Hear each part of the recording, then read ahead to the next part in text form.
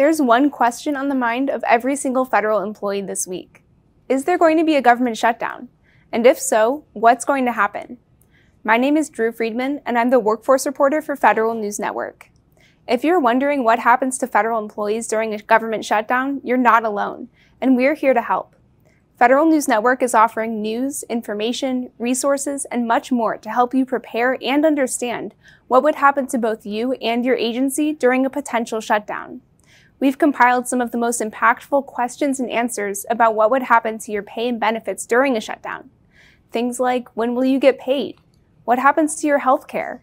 Can you take paid leave if you already had it scheduled? And will you be able to retire on time? We have the answers to all of these questions and much more. And we also want to hear from you. What else is on your mind? For more information or to ask us a question, go to federalnewsnetwork.com and search government shutdown.